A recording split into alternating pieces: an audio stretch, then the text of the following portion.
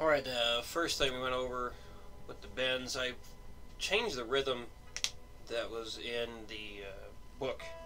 Something a little bit different that seemed to fit a bit better.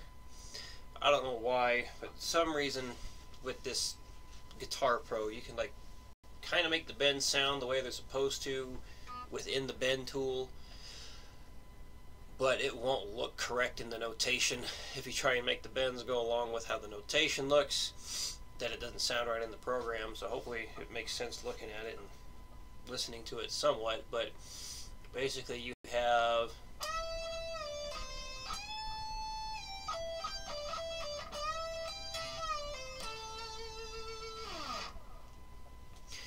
So it would be nice if the program actually has some of these notes in parentheses, how it's actually supposed to look, and how books look. So I don't know if there's something about the program I just don't know.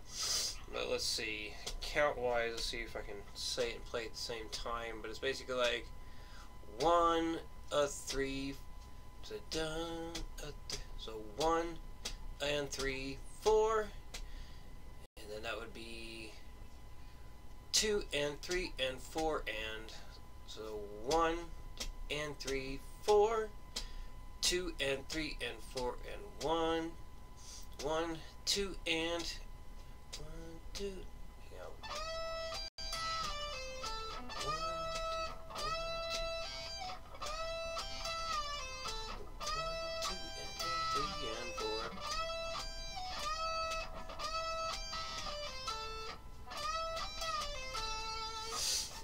so try to do the slow. One, two, and three, four, two. Take two. One, two, and three, four. One, two, and three, and four, and one, two, and three, and four. Do that again. One, two, three, four. One, two, and three, four, one. No, right. One, two, three, four, one, two, and three, four, two, and three, and four, and one, two, and three, and four. That was about it. One, two, three, four, one, two, and three, four, one two and three and four and one, two and three and four. So I am using my ring finger on the 19s. Unless I'm doing a bend, I'll use my ring finger on the 20 there, but so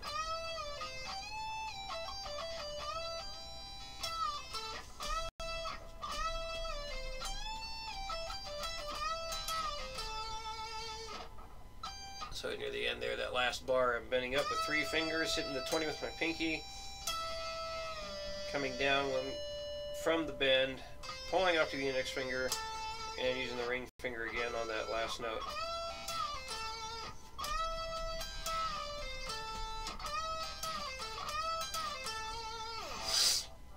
Far as the other parts, uh, seem to be fingering and notes that makes the most sense. So you got your chromatic part just using 3, 2, 1, 3, 2, 1 and then I'm sliding over to the 12 with the index finger. So you kind of break it into little parts. So here's the first part. You have the chromatic and then kind of the back and forth on the 12s and 14s So I'm going down, up, down, up, down, up,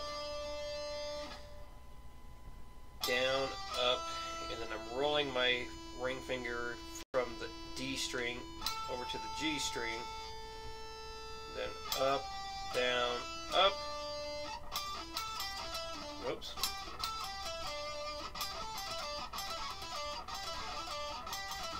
whoops,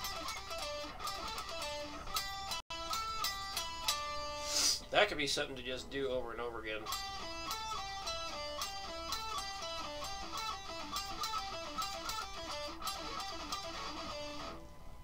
Do it till you're comfortable. It is a bit of an awkward thing. And then you're finishing with the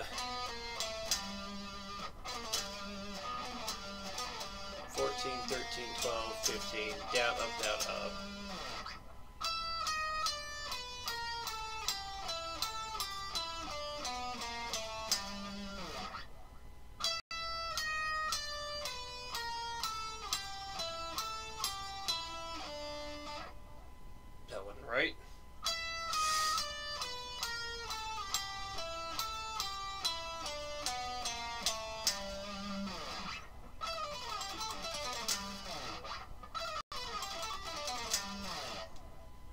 That's it. So hopefully that all makes sense. Hopefully the uh, tab stuff shows up on your Guitar Pro okay. And yeah, let me know if you got questions, and I'll see you again next week.